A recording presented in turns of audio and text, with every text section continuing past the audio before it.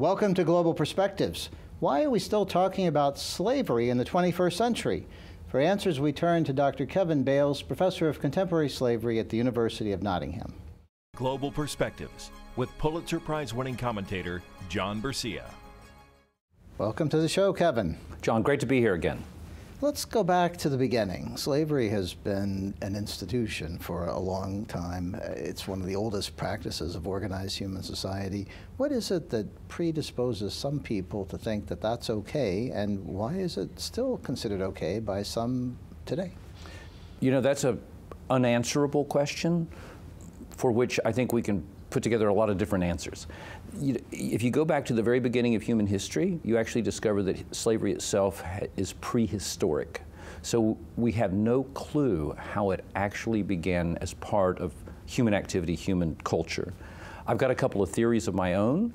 You know, one of them is about that formation of early hunter gatherer bands and how there would have been a lot of orphan children, and orphan children would be taken into other groups, and they might be used a kind of familial model of taking people to use their effort and use their, their work.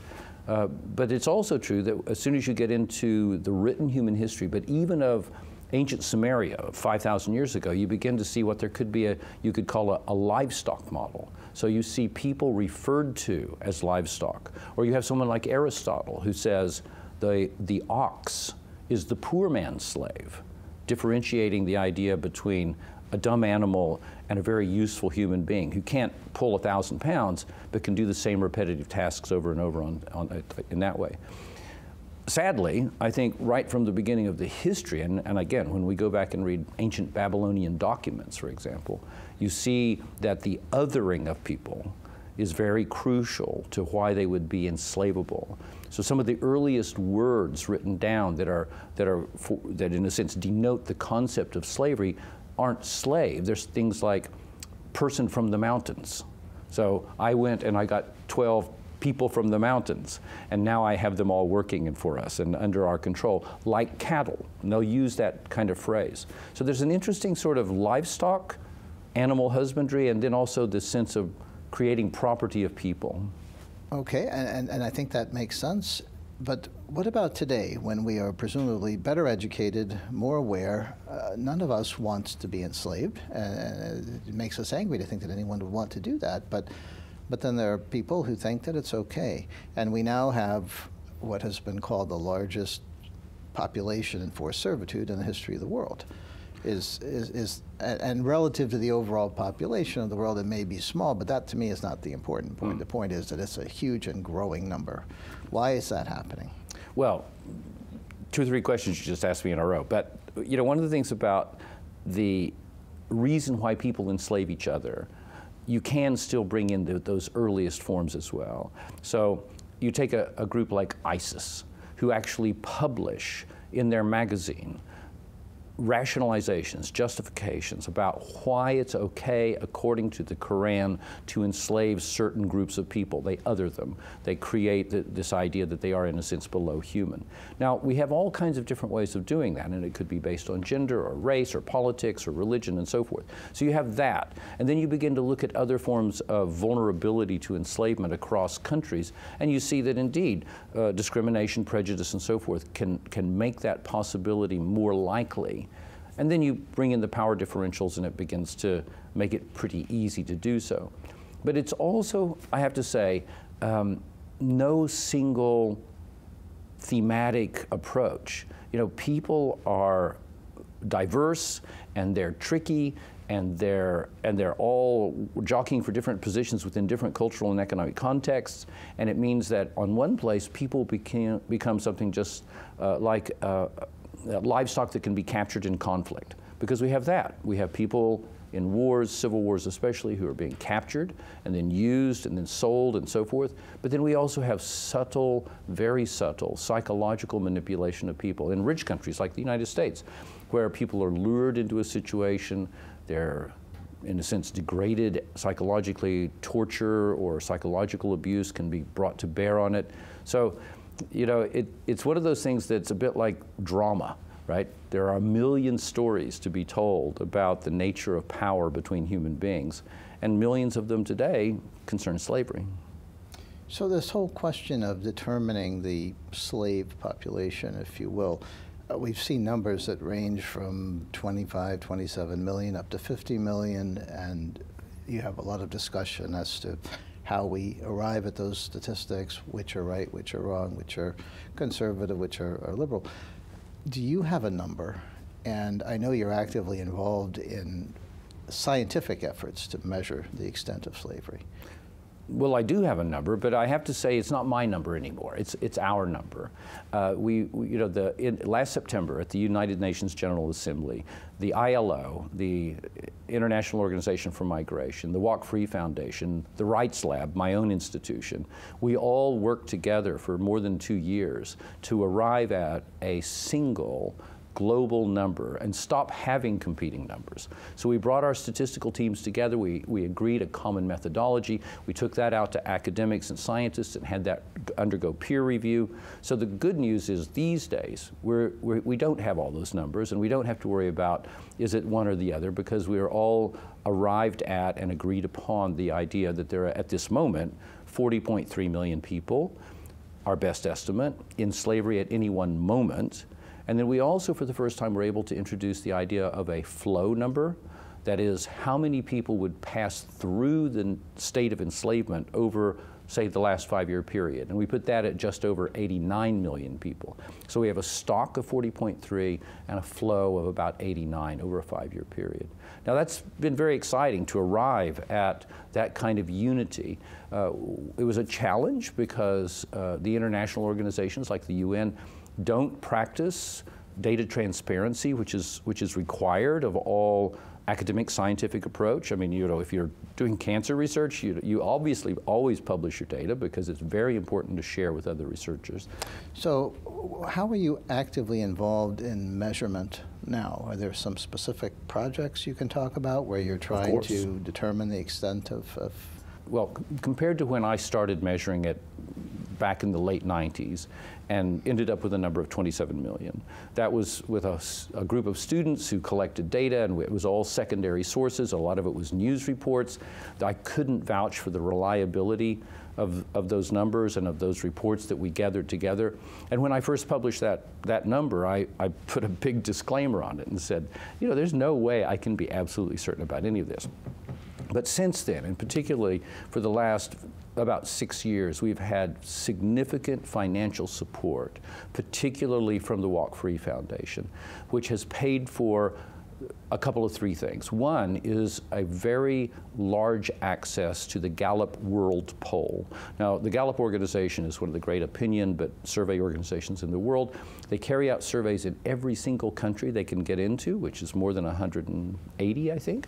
Uh, and we now use the Gallup World Poll in those countries where random sample surveys will actually tell us something about the extent, the prevalence of slavery. You don't go around asking people, Are you a slave? But you say to each household that you visit, Has anything like this happened to anyone in your extended family? And then it begins to give you a network of those. Then we were also able to invest very significantly in our statistical power and our our, our, great methodologists. And then we're able to build on the random sample surveys to do it starts to get nerdy at this point, John. I'll warn you. Extrapolation algorithms that help us to project to other countries where we're not able to do the surveys yet. And then on top of that, we've brought in a new technique called multiple systems estimation, which works in those countries where surveys don't, the rich countries. The rich countries have so little slavery in terms of their the, their overall population that you can't get a net fine enough to find the examples. It's better hidden in rich countries. But you can use this multiple systems estimation to determine that. And we pioneered that in, in, in Great Britain in 2015.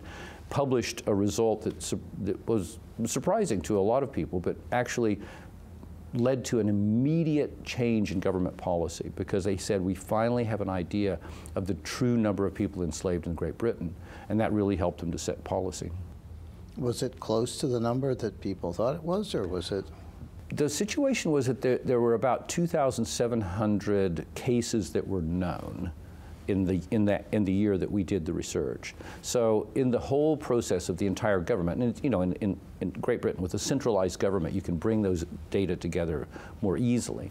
But there are about 2,700 known cases. But using multiple systems estimation, which allows you to extrapolate out to the what we call statistically the universe, but basically the total number for the country, it suggested that between 10 and 13,000 people were in slavery in that time period. Now, some people had been guessing high and some people had been guessing low, but it was all guesses. And now we actually have a, a, a number that, that the government statisticians and the Home Office and the other crime agencies and so forth consider to be reliable. And now we're beginning to dig more deeply and say, now, if we have 13,000 or so in the, in the Great Britain, how are they distributed? Let's, let's begin to do this at local levels as well. Does having that number make it more likely that you'll be able to mobilize resources and public support, et cetera, et cetera? It, it absolutely does, because I've been in those situations in the U.S. Congress when I've been along to talk to a senator and you say, this is a very serious problem. Uh, we really need to increase the resources because it's, it's, underfunded and we need training for Border Patrol, whatever. And, I've, and senators have looked me right in the eye and said, um, but I see that we've only had 812 cases. And you're telling me this is a multi million dollar problem. Now, how do I reconcile the, the cases that I know about with this idea that sounds a bit sensational, excuse me, but you know, sensational when you're telling me it's a multi million dollar problem? When we have a notion, uh, a good solid estimate of what the true number is in any place, it allows policymakers to do what they need to do, which is to base their planning on the solid foundation of a, of a real number. So, moving into the discussion of the people who are affected by this in the United States, since we're here and we're talking about a population that includes individuals who are brought in for slavery purposes from a number of countries, but also American citizens mm. who hmm. are trafficked around, around the country. Uh, what are the kinds of things we're doing for them, especially as they are rescued from their slavery situations? And what, what else should we be doing? Well, I have to say what we are doing is reactive. It happens when people are suddenly found for a great many situations. It's piecemeal. There is very little uniform approach. Uh, and it's sometimes uh, highly temporary in the sense that funding comes and goes. It's, it's seen as a charitable activity. So, you know, if we were talking about, imagine a world in, in, the United States where you, if, if cancer was the, was the issue, and you said, well, we may or may not have a hospital bed because, you know, it's all charitably funded, and, um, and, you know, you really do need to make sure you've got it before you come in, but we can't afford to check you to see if you have it. You know, this would be the situation, this is the situation that we have with people who are in contemporary contemporary slavery in the United States. We know where we need to go. We need to have standardization of, of provisions for them. We know how to help people. We know that they need educational support, they need uh, psychological counseling, they need a good physical um, uh, checkup when, they, when they've come out because there's a, a lot of health impact of being enslaved, as you can imagine. We know that you need to work with people to say, not how do we support you forever, but how do we help you to become the person you want to be? Because after all, a person who's been enslaved is just someone who's had their life and work stolen from them. But it doesn't mean that they, they are without life and they are without the capacity to work. And most of the survivors will tell you, you know, I don't, I don't want to live my life as a victim who's constantly being supported. I want to just have an opportunity to open the door to finish my education or to get some job training and so forth. In the United States, we have some good provisions for people who have come out of trafficking and slavery.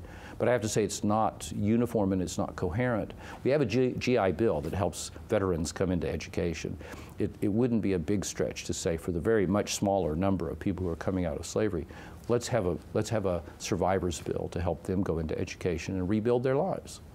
I, I, was actually thinking about education and the unique role that colleges and universities in particular have in terms of informing and developing awareness and training and, and working with the, the survivors of human trafficking. How is that process going? How, how is it evolving in the United States based on your experience? And as a follow up, what, what can colleges and universities do that are committed to this issue mm. Uh, should it be very, very laser focused or should it be comprehensive? Well, what's going on now is vastly improved over, say, 10 years ago. You have a lot of awareness on campuses, you have a lot of awareness among universities. Uh, just yesterday, I was talking to the president of Vassar College, and we were discussing uh, with a student group how we might help Vassar College become the first college in America to declare itself slavery free and what that would mean, for example, to say uh, enough already with just uh, fairly sensational public awareness. Uh, let's talk about what you actively do to turn your college or university into a place where slavery is never going to exist or never be supported by. So that's one way to say, in the same way that we talk about slave free communities, to talk about slave free universities. But the other thing is that the universities what they do best is think, plan, analyze, research, and this is a field that's wide open. We know, for example, very little about the mental health needs of people who are surviving in slavery. We don't, we, there's never been MRI research on the, on the impact of brain physiology or the, or the epigenetics of people who have gone through slavery. We don't know what are, there is no common, uh, commonly agreed rehabilitation protocol for people who have come out of slavery in a way that you have it for football players who have suffered brain injuries and so forth. I mean, there, in a sense, we're, we're at this point where the foundations are beginning to form around what we must do to work to ultimately 40 million people. And then we also have to be thinking, as we did just a second ago, talk about if you're going to have that many people come to freedom, we have to figure out how to make that freedom possible and fulfilling for them. We don't want to do what happened in the United States in 1865. You know, four million people lifted up out of slavery and then dumped, no access to credit, education, political participation, suffering discrimination and prejudice. We're still paying the price for a botched emancipation in 1865. Let's get this emancipation right and make it the one that, that really works.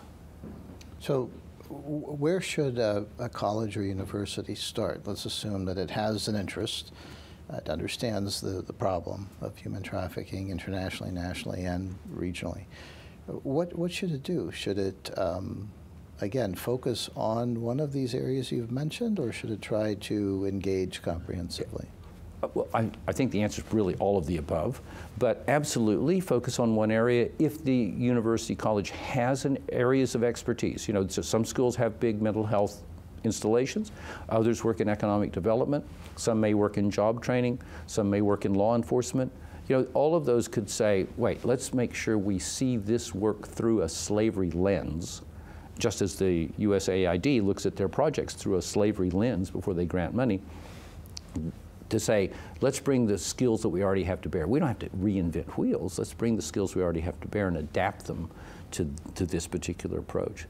Then I say it's always important, if it's all possible, to understand that when you're looking at scholarship provision and to say, we support a lot of people who have faced significant disadvantage. And that's part of the nature of higher education that, that we're proud of.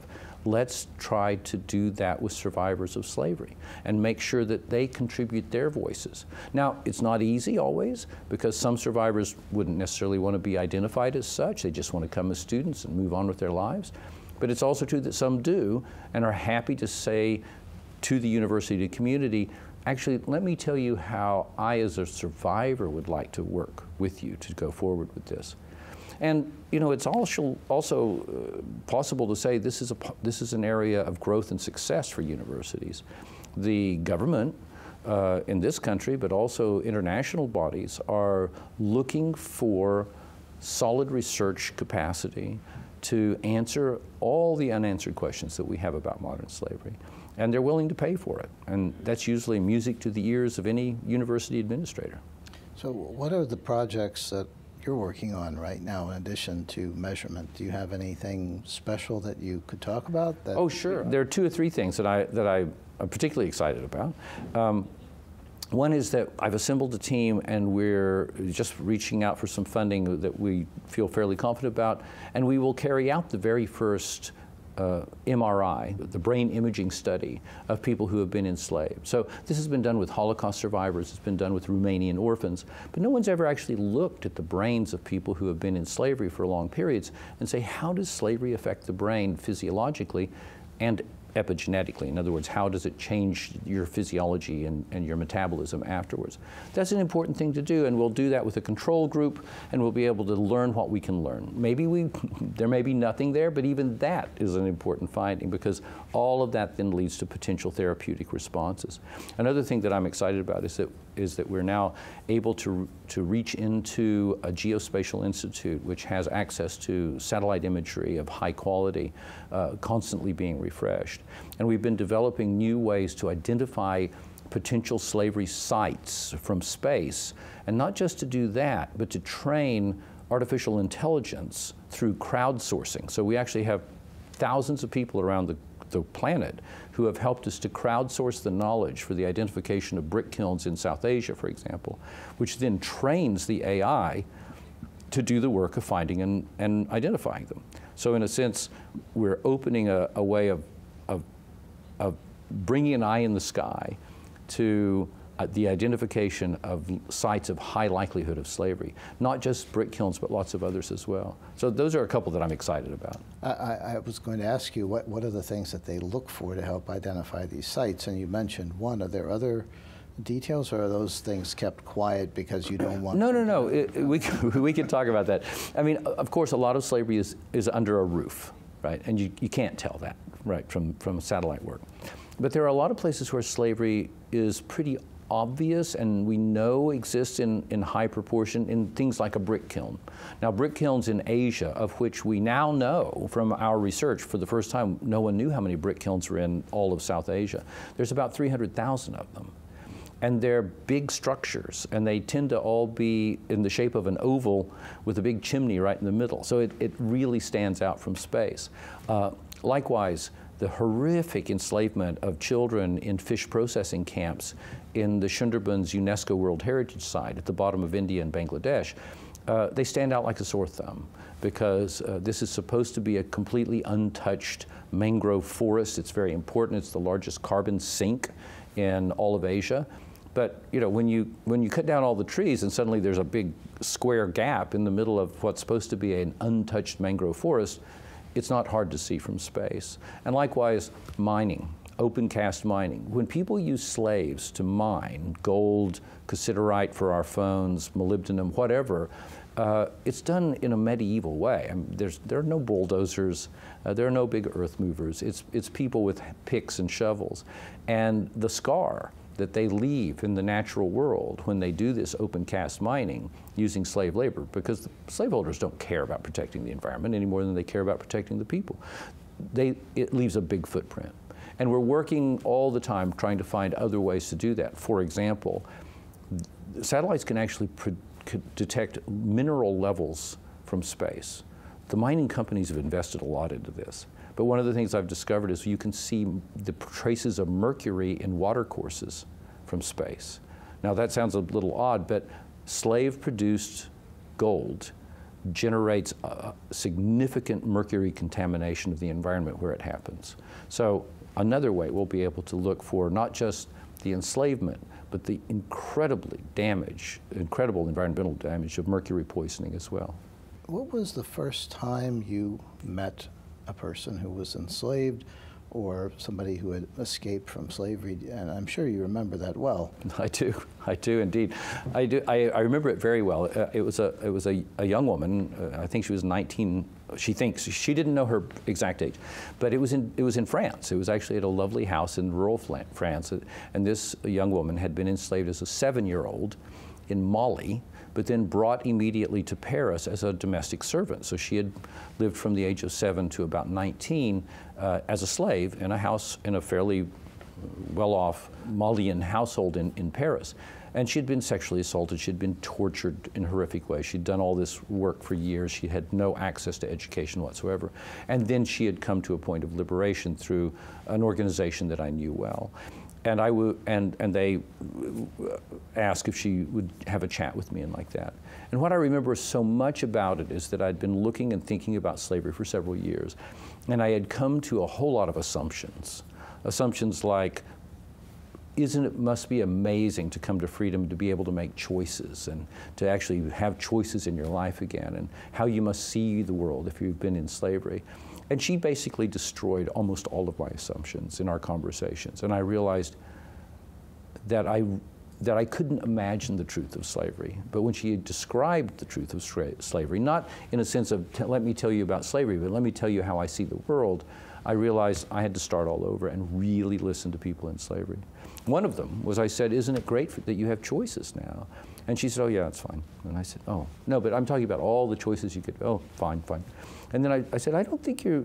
Can we talk about that choice thing? And, and she had warmed to me enough that she said, Look, everybody keeps talking to me about choices. They tell me I must like choices. I don't know what these choice things are. No one will show me one of these things. But I know I'm supposed to like them, so I say that I do. And I realized I was approaching this from someone who had grown from infancy in freedom. And once we adjust our minds to, to, our, to the true freedom that we have, it's very hard. You know, it's like, it's like suddenly being in a completely dark room. You can't see, the light's not there anymore. And that was just, that was just the beginning of, a, of a, quite a learning process that, that this woman gave me. Great story, and thank you so much for joining us today, Kevin Bales. It's always great to be here. And thank you for Global Perspectives. I'm John Bersia. We'll see you next time.